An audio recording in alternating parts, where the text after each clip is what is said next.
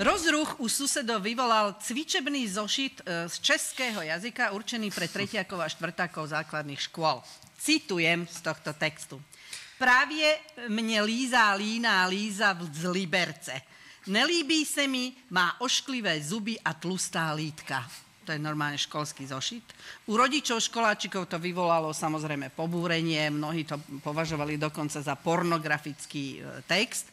Hovorkyňa vydavateľstva, ktorá knihu vydala, však oponuje, že išlo o hádanku a deti mali z textu pochopiť, že ide o lízanku, hej, aby vedeli správne použiť slova lízať a prehltať. Pre úspech teda vám dočítam tento text zo šľabikára. Citujem. Rozplývám se líze v puse a ona chtivie poliká. Líza slíbila Libuši, že jí dá líznout. Líza ale plitvá a kousek mne vyplivla. Líba se šklebí, nedostala ani ň. Tak kurný šopa. Čo toto je za text? To... Pozor, ale deti Te... vôbec nerozumejú dvojzmyslom, lebo oni nevedia, že sú aj iné možnosti, ako Lízať. lízať iba lízatko. Áno, vieš? áno, áno. Predstav, toto, ale za to dospelí, tí dvojzmysly vidia všade, hlavne no. niektorí jeňa. ja len teda... Samo.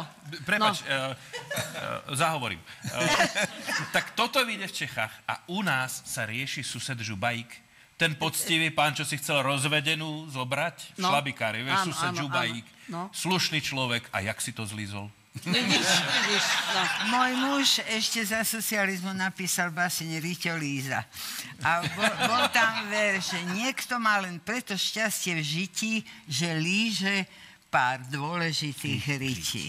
To, to, to je A, e, gramaticky to bolo absolútne správne, lebo aj tak mal kvôli tomu e, starosti.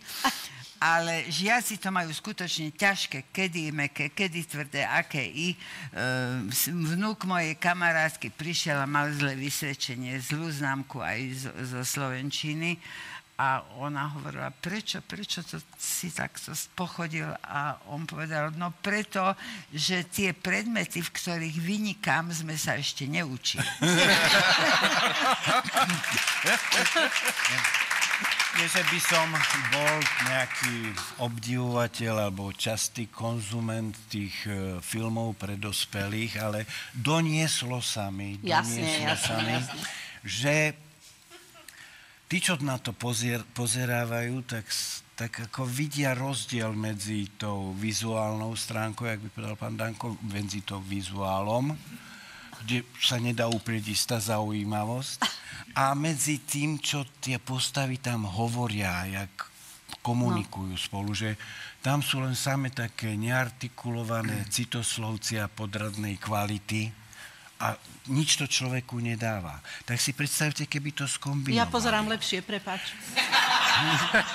Keby to skombinovali i obrázky ako obvykle a plus do toho texty z učebnice tretieho ročníka, že by ten pán hovoril niečo o líne, líze z Liberce, ktorá ja neviem čo. Plus to by bol... A navyše, a navyše, treba si uvedomiť, že to by mohlo splniť aj veľmi dobrý výchovno-vzdelávací účel, lebo ako v Česku raz zistili pri prieskume, porno pozerajú hl- najmä deti.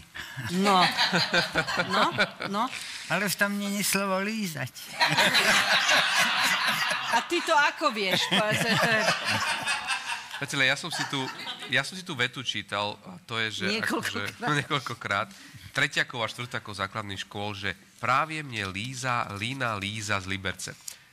Tri veci rýchle k tomu. Prvá je, keby som bol sexuálna pracovníčka v Liberci, okamžite si mení meno na Lína Líza, lebo to je reklama zadarmo v každej učebnici.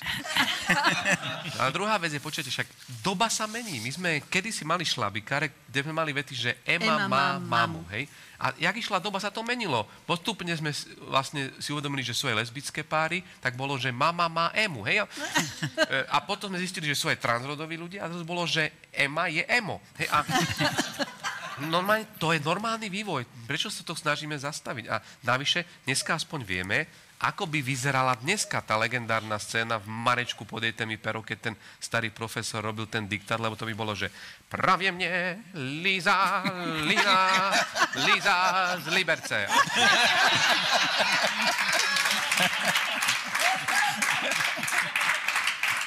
Samo, ty tu na mňa dnes nejako podozrivo útočíš, ja sa musím brániť, tak zase sa budem brániť. Ja nie som naozaj nejaká puritánka, akože, a aj sa mi aj z tohto zdá, že už vo všetkom tí puritáni vidia niečo nekalé a pritom naozaj e, často je to len o tom, ako to pochopíme, hej, ako sa na to z ktorej strany pozrieme. Príklad e, veľmi známy o tom chlapíkovi, ktorý napísal prstom na zaprášené auto e, svojej susedky, škodoradostne e, umima a ona mu na druhý deň tiež niečo ráno napísala a tam bolo na tom aute jeho napísané príď, zajtra napustím Váňu.